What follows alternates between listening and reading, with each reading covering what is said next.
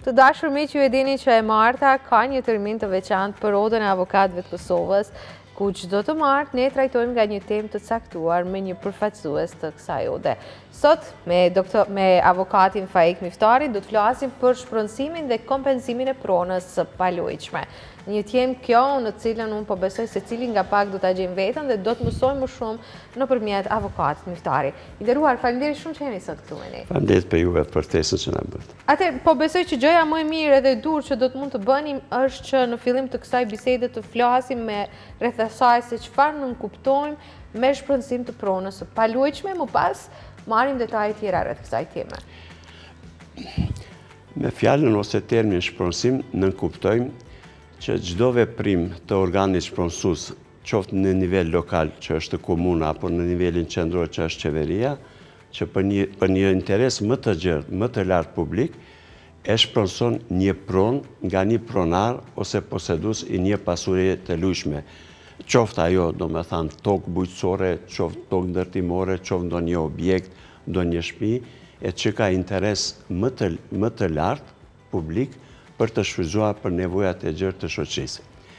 Kur kemi të bëjmë me shpronësim, unë dua të shtoj këtu që ne shqiptarët kemi një përvojë shumë të hidhur nga e kaluara, po. ashtu që kohën e Jugoslavisë së mbretit, shqiptarët kanë pësu shumë pasi që atëherë është ekspropriu, është shpronësu një sipërfaqe të madhe të tokave të ndryshme dhe objekteve për të kolonizuar me në atë kohë me serbët, po ashtu kjo kjo procedurë ose kjo e hidhur që ka qenë gjatë ka vazhduar edhe në kohën e komunizmit, ashtu gjatë sistemit komunist me me denacion me ligjin që e ka pru pushteti i atëhershëm ka bërë nacionalizimin, konfiskimin dhe ekspropriimin apo shpronësimin e tokave, objekteve, shtëpive të ndryshme. Tani e tutje na pret që një prej kushteve ose që duhet të plotësojmë, po normal Kosova, Republika e Kosovës është ende larg, që për anëtarësim në Bashkimin Evropian, që do të kemi kushtin që të bimë ligjin për de-ekspropriim apo de-shpronësim, de-nacionalizim edhe de-konfiskim, me të cilën të gjithë ish-pronarët do të kompenzohen për të gjitha pasuritë që kanë pas edhe që janë marrë domethanë në mënyrë të dhunshme, me dhunë, me forcë, pa pëlqimin e tyre edhe që nuk janë paguar. Bile, bile, na, se është një periudhë e gjatë që do të jetë, bile, bile, Kosova do të hyjë në, në, në borxhe në kredi për t'i paguar, se është një prej kushteve që të cilën i kanë plotësuar të gjitha shtetet, domethanë që janë tashti në, në Bashkimin Evropian e ose që aderon që edhe Kosova domethanë një ditë aderon që do të jemi pjesë e Bashkimit Evropian. Tani, meqë po flasim për Kosovën, në ne, ne si Republikë, si e kemi të rregulluar shpronësimin e pronës së paluajtshme? Në Kosovë në ke, e kemi në fuqi ligjin për shpronësimin e pasurisë së paluajtshme, i cili ligj, me ndryshimet dhe plotësimet e bëra, ka hyrë në fuqi me shtatëmbëdhjetë nëntor të vitit dy mijë e dhjetë, edhe prej atëheri domethënë ky ligj është akoma në fuqi. Përveç kësaj kemi edhe një udhëzim administrativ nga Ministria e Ekonomisë dhe Financave, e cila cakton domethënë kompenzimin, sasinë e vlerës së kompenzimit, i cili është aprovuar nga Qeveria e Kosovës gjithsesi nga Ministria e Ekonomisë dhe Financave në vitin dy mijë e pesëmbëdhjetë. Ashtu që me këto dy ligje, me këtë ligj mhm. për shpronësimin e pasurisë së palujtshme dhe udhëzimin administrativ, është rregulluar normativi ligjor në Republikën e Kosovës me të cilën në bazë të këtij ligji dhe udhëzimi të gjitha shpronësimet që bëhen bëhen konform këtyre këtij ligji edhe udhëzimit administrativ. Po, po cili është organi shpronësues në në Republikën e Kosovës? Në Republikën e Kosovës kemi dy nivele ose mhm. dy nivele të organit shpronësues. Është organi shpronësues në nivel lokal apo po, komunal, po. në krye të cilit është kryetari i komunës dhe në nivelin qendror apo organ në nivel kombëtar që është në këtë rast qeveria e Kosovës. Në nivelin lokal, kryetari si bartësi, ose si, si titullu si organ shpronësues, e ka në, në, në, në, në dispozicion që të bëjë të gjitha shpronësimet në brenda komunës. Por të gjitha në suaza në kuadër të ligjit mbi shpronësimin e pasurisë së palujtshme, i cili decidivisht thekson se në cilat raste po. do të mundet një shpron të shpronësohet. Tani, që të vijë deri tek shpronësimi i një prone, duhet bëhen punë përgatitore para saj. Cilat janë ato të domosdoshme? Punët përgatitore, qoftë në nivelin lokal, apo në nivelin qendror, paraprakisht, në rast se është interesi i komunës, që për një interes publik më të gjerë komunal, atëherë sheh të arsyeshme të bëjnë një shpronësim të një pasurie të palujtshme, qoftë objekt ose tokë bujqësore, tokë ndërtimore, ose cilado pasuri tjetër, edhe do të bëhet përgaditje, do të ceket se për çfarë arsye, po. për çfarë arsye bëhet shpronësimi.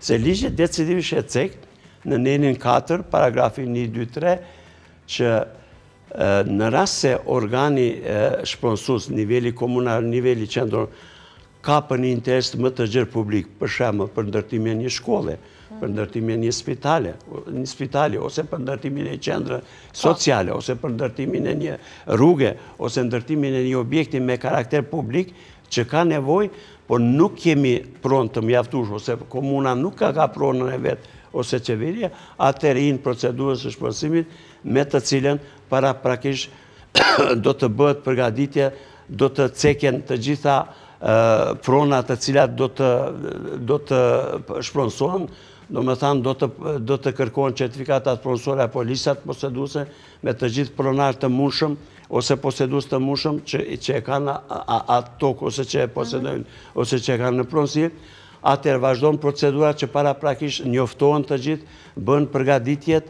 Edhe pas gjithë kryerjes së përgatitjeve, atëherë do të hyhet, domethënë, në procedurë të shpronësimit si në nivel lokal, si në nivel qendror. Për shembull, qeveria bën shpronësimin të objekteve, të pasurive që janë në nivel qendror, si për shembull të autostradave që kena pas rastin konkret Prishtinë, domethanë, Shkup, ose Prishtinë, Tiranë, ose tash po mendoj Prishtinë, Gjilan, ashtu që ato të gjitha do të paralogariten, do të përcaktohen, edhe pastaj në atë kuptim do të hyhet në procedurë të mëtutjeshme të shpronësimit. Meqë po përmendim në vazhdimësi procedurat, si është, si bëhen këto procedura, si duhet realizohen? Paraprakisht, njoftohen të gjithë pronarët ose mhm. poseduesit të mhm. pronave të paluajtshme ose objekteve lokaleve të cilat hijnë në atë pjesë ose në atë plan, mhm. në atë plan që dëshirohet të shpronësohet. Kjo mund të jetë me një karakter më të ngushtë edhe më të gjerë. Për shembull me një karakter më të ngushtë mund të ndodhë që veç 2-3 prona të 2-3 pronarëve të caktum nevojiten për një interes publik më të gjerë që hin në nivel domethanë të shoqërisë në përgjithësi. Por ndodh për shembull si ka qenë rasti për i autostradave që mhm. janë shpronësu një numër të madh, domethanë të tokave edhe bujqësore, po edhe tokave ndërtimore, edhe me të cilën pastaj është vazhduar procedura, ashtu që e kemi te procedura e shpronësimit paraprakisht e kemi procedurën paraprake dhe pastaj ose preliminare edhe vendimin përfundimtar. Po. Tani, kur jemi tek vendimi preliminar, çfarë është ky vendim? Si bëhet? Vendimi preliminar, para se të bihet vendimi preliminar, mhm. do të përcaktohen të gjitha ato sipërfaqe ato prona që duhet të hinë në kategorinë që duhet të shpronësohen. Ashtu që, me ato do të njoftohen të gjithë pronarët ose poseduesit e pronave të paluajtshme, mhm. me të cilën do të precizohet kopjet e planit, skicat, plani urbanistik ose plani hapësinor, varësisht se në cilën plan i përgjigjet ajo pronë, ashtu që ma tutje pastaj do të hihet, do të hyhet në lajmërimin, domethënë të gjithë poseduesit ose pronarët duhet të lajmërohen me kohë për të gjithë mundësinë që, për të gjithë ato që kanë me hi në shpronësim. Pastaj kemi afate kohore, për shembull, ki afat kohor në afat prej 5 ditëve, 7 ditëve, 10 ditëve, 15 mhm. ditëve, 30 ditëve, që vazhdon procedura, ashtu ata që njoftohen paraprakisht. Edhe është një kohë e caktume, për shembull, derisa pronarët kanë të drejtë me shkrim të japin përgjegjet e tyne, a e kundërshton, apo janë, domethanë, për shkaqe të ndryshme që Nuk dëshiron ndoshta të kyçet ajo pronë për shkak ndonjë interesi, apo është prona në kontest gjyqësor. Pastaj po ashtu si në nivelin lokal, ashtu në nivelin qendror, objekti shpo, domethanë, organi shpronësues, po. do të bëjnë një dëgjim publik, me të cilën do t'i ftojë të gjithë të interesuarët, sikurse që janë pronarë, domethënë pronave të paluajtshme, po ashtu edhe mediat, edhe drejtoria e urbanizmit në rast se është nivel lokal ose drejtoritë ministria e planifikimit hapësinor në nivel qendror, edhe do të ftohen ku ata kanë drejtë aty të japin mendimet e veta për pronat e tyre. Po ashtu përveç saj, Është një periudhë kohore 10 ditësh, ku mund të edhe me shkrim të japin, domethanë, po. mendimet ose komentet e tyre, lidhur me çka mendojnë për atë për atë objektin e tyne që hin asaj kategorie. Pas këtyne, pasi që kryhet kjo, atëherë organi shpronësues, domethanë, qoftë nivel lokal, apo nivel qendror, bjen vendimin preliminar, me të cilën vendim preliminar caktohet, llogaritet se çfarë çdo kujt sa po. pronë do të ipet, do të shpronsohet edhe do të kompenzohet. Pas saj, pas një periudhe kohore, vjen edhe vendimi domethanë përfundimtar. Ky vendim ndryshohet, ka po, mundësi që të po, bëhet? Vendimi përfundimtar kur vjetë, atëherë kryhet procedura. Po, të përtha një minutë fund. E prej vendimit preliminar, Deri në vendimin përfundimtar kemi një periudhë kohore 12 muaj, një vit, gjatë të cilës në afat prej 15 ditësh kur hin vendimi preliminar në fuqi, qoftë në nivelin lokal apo në nivelin qendror, brenda asaj kohe të gjithë pronarët e paluajtshmërive që nuk janë të kënaqur me këtë vendim kanë të drejtë ta atakojnë nëpërmes gjykatës vendimin Përrasi.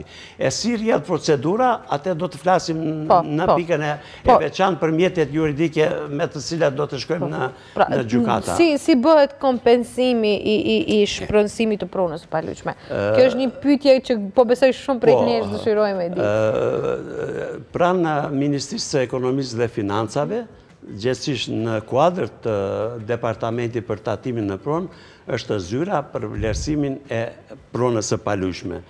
Ajo është zyre e cila për të gjitha pronat domethanë vlerëson kriteret me të cilat do të kompenzon pronat e paluajtshme domethanë të shpronësuare. Po. Një prej kritereve Edhe kur ta bjen vlerësimin përfundimtar, është që organi shpronësues, organi shpronësues, po. qoftë në nivel lokal, qoftë në ne, duhet t'i sigurojë mjetet financiare edhe t'i depozitojë në bankë në të cilën paret, dometha, të hollat do t'jenë të depozitume për çdo pronë që duhet të paguhet. E tash këtu e kemi te vlerësimi. Vlerësimi baza, kriteri kryesor është domethanë që të jetë vlera reale e çmimit mhm. të tregut. Po. Qoftë pasuria e palujtshme, qoftë ndërtesat ose objektet të ndryshme. Po këtu normal janë kriteret, për shembull, te prona e palujtshme, te mhm. toka bujqësore, ose toka ndërtimore, merret parasysh, a ka qasje në rrugën kryesore, apo në rrugën sporadike, po, pozita në të pozita, sa metra, ose ashtë distanca prej një vendbanimit urban, ose rural, të gjitha këto vlesë, edhe në fund, domethanë, miren 2-3 faktura, ose mhm. kontrata që janë shitur në atë kohë, domethanë, në atë pjesë, Dikush e ka shit një pronë të palujshme, me të cilën vlerësohet çmimi real, domethanë çmimi i tregut në atë kohë sa ka qenë, mhm. për shembull një ari, ose një hektar, ose varësisht prej asaj. Domethanë kjo është kryesore. Ndërsa te ndërtesat, ose te objektet e ndryshme, se kemi raste kur edhe vetëm shtëpia, ose ndonjë objekt tjetër, mund të mund të shponsohet, atëherë merret për bazë, domethanë, me çfarë material ndërtimu është ndërtu, kur është ndërtu, amortizimi i tij, domethanë, gjitha kushtet, Diskutojnë elemente të zyra, zyra e cila vlerëson po. edhe përcakton çmimin. Dhe te te, këtu po du me ndalë, te, tek ata që e, e caktojnë shumën e kompenzimit të shpronësimit, ju përmendët që ka shumë aktorë, afërsia me rrugën, rëndësia në cilën pjesë të themi të qytetit ose të fshatit është, po kush është përfundimisht ai që thotë ky objekt, kjo tokë, ose kjo gjë vlen kaq dhe këtë shumë duhet paguar. Zyra për vlerësimin, zyra për mhm. vlerësimin e shpronsimit, ajo mhm, cakton mhm. çmimin, edhe me atë çmim, domethanë, organi shpronsus qoftë nivelit lokal, apo ose nivelit, duhet, domethanë, t'i përgjigjet asaj. Po. Dhe krejt n'fund unë do të doja të flasim pak edhe për mjetet juridike që janë në dispozicion lidhur me shpronësimin edhe kompensimin e pronës së paluajtshme. Si në rastin kur bjen vendimi preliminar, mhm, mhm. si në vendimin përfundimtar, çdo pronar ose çdo posedues i pronës së paluajtshme Çfarëdo qoftë ajo, ka të drejtë, domethënë, ta atakojë atë vendim. Edhe kjo shkon me një procedurë të përshpejtuar. Mjetet juridike i ka në dispozicion edhe në nivel lokal, domethënë, në shkallën e parë edhe në shkallën e dytë. Kur kemi rastin te shpronësimi në nivel lokal, kur organi shpronësues është komuna, atëherë ankesën e bën pranë gjykatës komunale në të cilën gjendet, domethënë, komuna, për shembull, pranë gjykatës themelore në Prishtinë, nëse është, domethanë, prona në Prishtinë. Ndërsa, kur kemi me nivel qëndror, kur qeveria është organ shpronsus, qeveria për një interes më të gjërë publik e merr, e bën shpronsimin, atëherë ankesa, domethanë, i dorëzohet gjykatës supreme. Para se, kur dorëzon, para se me dorëzu, si në gjykatën themelore, ose në gjykatën supreme, paraprakisht, Përveç që dorëzohet gjykatës, duhet në pesë kopje ankesa me të gjitha materialet, me të gjitha dëshmitë që e konteston ose po, kundërshton, po. duhet paraprakisht të dorëzohet edhe organit shpronësues, qoftë në nivelin lokal ose në nivelin qendror. Mhm. Edhe një prej parakushteve, në rast se në pesë kopje nuk dorëzohet në organin shpronësues në nivel lokal ose ose nivel qendror, gjykata themelore ose gjykata supreme nuk e merr parasysh. Mhm. Prej asaj dite kur dorëzohet Gjykata ia dorëzon organit shpronësues, organi shpronësues qoftë i nivelit lokal apo nivelit qendror, duhet brenda 15 ditësh të jep, domethënë, përgjegjen ose mendimin e tij. Pas 15 ditëve, gjykata themelore në nivel komunal, kur kemi të bëjmë me organin shpronësues të nivelit lokal, ose Gjykata Supreme kur kemi të bëjmë me organin shpronësues në nivel qendror, brenda tridhjetë ditëve ajo duhet tërë procedurën të kryej, lidhur me atë ankesë. Domethënë shkon me një procedurë të përshpejtuar. Domethënë caktohen seancat edhe kanë prioritet mbi të gjitha lëndët tjera. Edhe edhe edhe kur kryhet, domethënë brenda tridhjetë ditëve, atëherë bjen vendimin. Çfarëdo qoftë që bjen vendimin, që është pro ose domethënë mhm. në favor ose kundër, atëherë ka të drejtë që pas saj në rast se pala, cilado palë që nuk është e mhm. kënaqur në ankesë, të atakojë atë vendim në shkallën e dytë në gjykatën e apelit. Po ashtu e njëjta procedurë, sikurse që është në procedurën e gjykatës themelore së parë, ashtu edhe në gjykatën e apelit janë këto procedura, brenda 5 ditëve duhet t'i dorëzojë 5 kopje të mjaftueshme për organin shpronësues, pastaj apeli brenda 15 ditë përgjegjet t'ia jep organi shpronësues, Prapë se prapë Gjykata e Apelit e bjen vendimin brenda tridhjetë ditëve.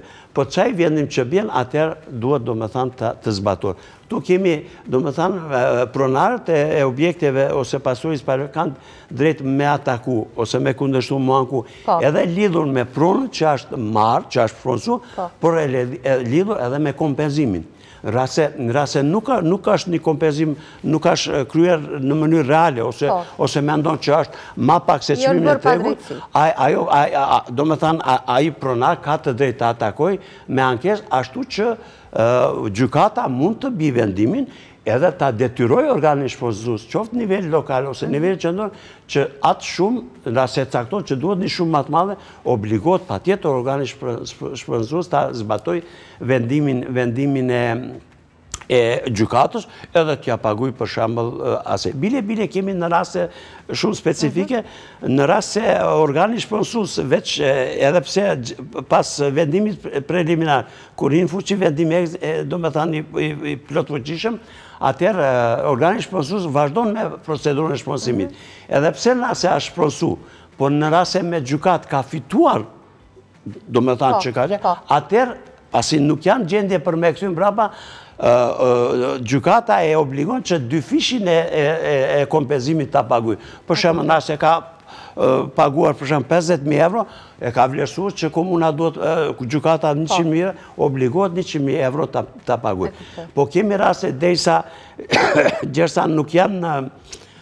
domethënë në procedurë të sipër ose në mhm. gjykat, atëherë ai që nuk e ka marrë pronën, domethënë nuk e ka marrë kompensimin, depozitohet në bankën qendrore në një në një po. xhirollogari të posaçme, me të cilën i ruan ato parat, janë dedikuar për po. që ato, pasi të kryhet procedura gjyqësore, ato parat do t'i paguajë atyre.